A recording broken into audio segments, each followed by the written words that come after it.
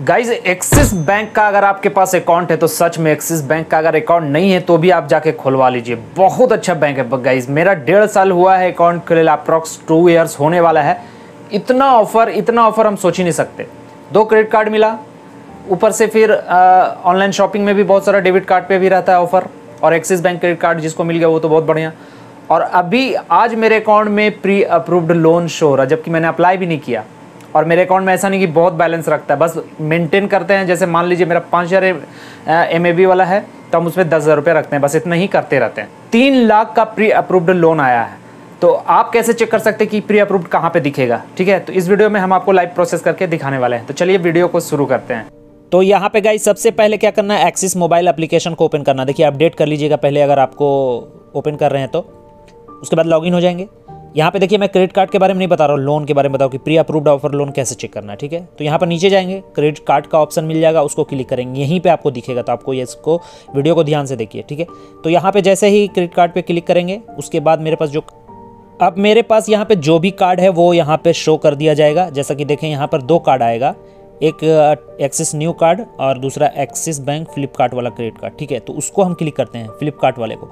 जैसे क्लिक करेंगे, आप यहाँ पर देखें जस्ट फॉर यू, यहाँ पर एक मिल रहा है और नंबर चेंज हो रहा है। तो देखिए, तीन लाख इक्कीस हज़ार रुपया यहाँ पे शो हो रहा है। जैसा कि देख पा रहे हैं आप यहाँ पे कि आपको जो है यहाँ पर बिना किसी डॉक्यूमेंट्स के बोल रहा है। तो क्या करना है अब इसको लेने के लिए? अवेल नाउ का ऑप्शन है, इस पर क्लिक करना। है अगर आपको ऐसा ऑप्शन दे रहा है तो जो प्रोसेस मैं बता रहा हूँ, वहीं फॉलो करिएगा, ठीक है? उसके बाद आपके सामने इस तरह का इंटरफेस आएगा। ये हो गया प्री अप्रूव्ड ठीक है? आप यकीन ना मानेंगे, अगर हम ये जो है दो से तीन मिनट के अंदर अकाउंट में आ जाएगा, अगर ऐसा आपको शो हो रहा तो। आप यकीन नहीं मानेंगे, ठीक है? तो अब क्या करना है यहाँ पे? अब यहाँ पर जो है आपको बैंक दिख जाएगा, कौन सा बैंक में जाएगा। उसके बाद यहाँ पर लोन का टेनर दिखेगा कि अड़तालीस महीना आप इसको कम ज़्यादा कर सकते हैं। उसके बाद आपको यहाँ पर जितना अमाउंट चाहिए, जैसे इतना तो टोटल दिख रहा है, आपको कम ज़्यादा आप कर सकते हैं। उसके बाद यहाँ पर जो है आपको दिखा देगा कि आपका रेट ऑफ़ इंटरेस्ट कितना है ईएमआई कितना बनेगा फ़ीस कितना लगेगा मतलब प्रोसेसिंग फ़ीस वगैरह कितना लगेगा? उसके बाद तीन लाख लोन यहाँ पर दिखा रहा है तो उसी हिसाब से आप यहाँ पर कम ज़्यादा कर सकते हैं। आपको जितना अच्छा लगे कर लीजिएगा, ठीक है? उसके बाद लोन किस अकाउंट में डिस्पर्स होगा, वो भी दिखाएगा। उसके बाद यहाँ पर आपको देखिए रेट ऑफ़ इंटरेस्ट ईएमआई वगैरह दिखा देगा कि कितना लगेगा, ठीक है? उसके बाद एक टर्म एंड कंडीशन नीचे एक्सेप्ट करिएगा।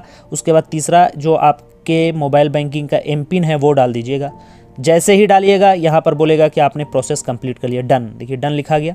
अब यहाँ पर आपका जो ये यू हैव सक्सेसफुल्ली अप्लाइड यहाँ पर देखिए लिख रहा है, ठीक है? उसके बाद यहाँ पर डन का ऑप्शन है क्लिक करके छोड़ देंगे। आप यकीन मानेंगे पाँच से दस मिनट के बाद चेक करिएगा तो आपके अकाउंट में अगर आपको ऐसा शो हो रहा है तो पाँच से दस मिनट के अंदर आपके अकाउंट में ये पैसा आ जाएगा हंड्रेड परसेंट आ जाएगा। अगर आपको ऐसा शो हो रहा है